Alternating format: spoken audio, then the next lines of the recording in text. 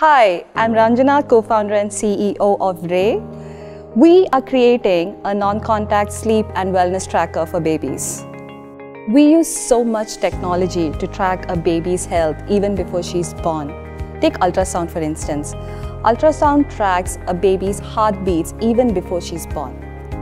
But what technology do we use once the baby is born? That is why we have come up with a technology that uses ultra wideband radar to track even the tiniest movements in a baby's body. I'm Ardra, uh, CTO and co-founder of Ray. Our technology is capable of tracking respiration rate at an accuracy of 98%.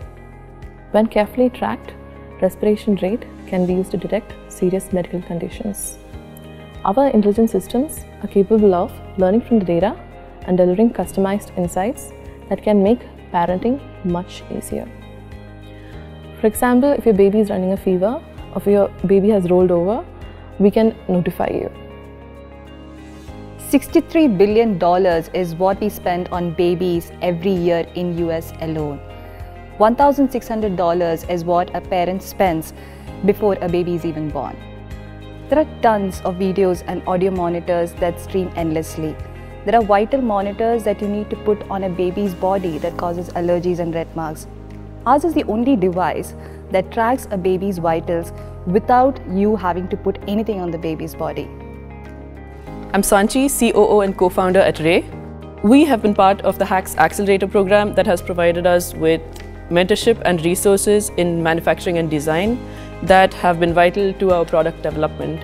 We are also collaborating with Johnson & Johnson to create a more baby-friendly product. Our product launches on Kickstarter on January 31st, 2017.